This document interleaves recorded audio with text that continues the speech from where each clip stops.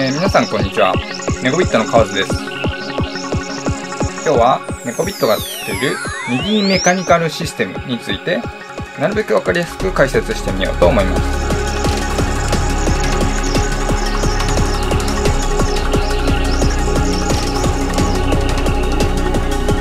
それではこれを一つずつ説明します。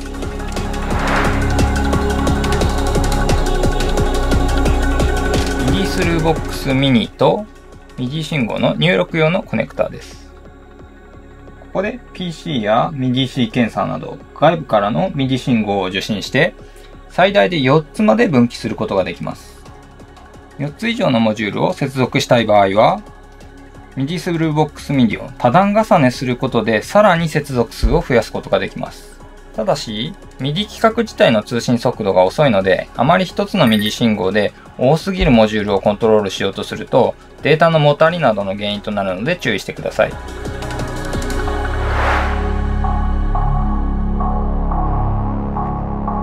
MD16 です。ここから入力された MIDI 信号を 5V のスイッチ信号に変換するモジュールです。受け付ける MIDI データは、ノートナンバーとコントロールチェンジのどちらかを、こちらのディップスイッチで設定できます。この一番左のスイッチが、オフでコントロールチェンジ、オンでノートに反応するようになります。今これはノートですね。音符のデータに反応する設定になっております。ノートナンバーの場合は、ノートオンで 5V が出力、オフで 0V。コントロールチェンジの場合は、0の場合 0V、それ以外で 5V が出力されます。ここから出力される 5V は、ポートあたり 10mA 程度までが上限なので、それ以上の電流や 5V 以外の電圧を扱いたい場合は、後で説明する DT2 や DT8 をご利用ください。このディップスイッチの2から8番を使うことで、受信する MIDI チャンネルやノートナンバー、コントロールナンバーの設定ができます。ノートナンバーやコントロールナンバーは16単位での設定になりますが、えー、詳細はホームページの方をご覧ください。リップスイッチの設定は、電源投入時及びリセットボタンを押した直後の設定が反映されますので、途中で設定を変えた場合は、リセット及び電源再投入を忘れずにしてください。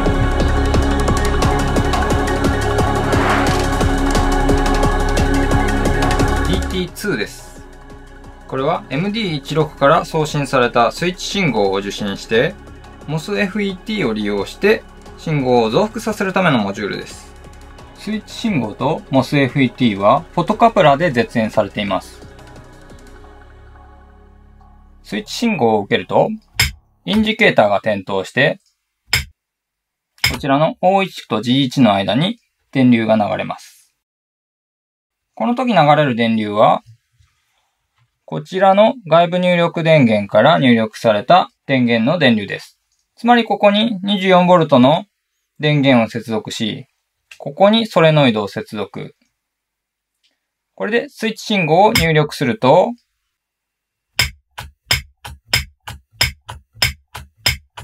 ソレノイドに 24V の電気が流れます。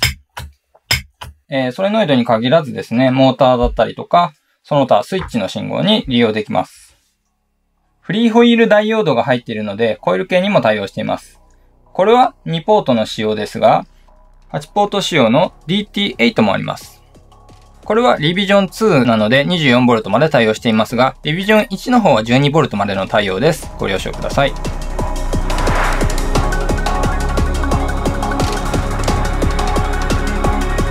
MP8 PWM 制御のラジコンサーボをコントロールするモジュールです。これ1枚で8つまでのサーボをコントロールできます。電源は8つ共通なので、大トルクのサーボを利用する場合は発熱に注意してください。MP8 はその特性から、コントロールチェンジのみの制御になります。こちらのダイヤルで PWM の、えー、下限値と上限値をオフセットできます。さらに、コントロールチェンジの数値によって、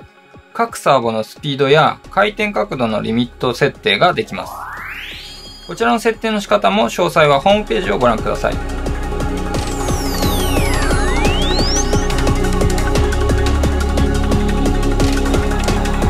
こまでのモジュールの組み合わせでこのような制御ができます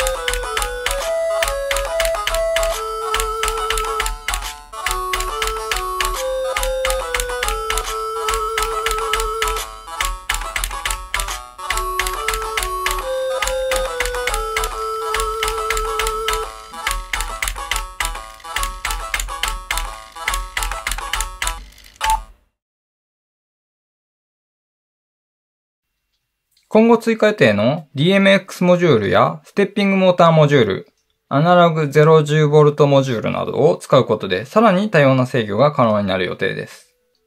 これを見て MIDI メカニカルシステムに興味を持たれた方は、スイッチサイエンスウェブショップやネコビット電子のベースショップなどで MIDI メカニカルシステムを販売しておりますので、よろしければご覧になってください。ご視聴ありがとうございました。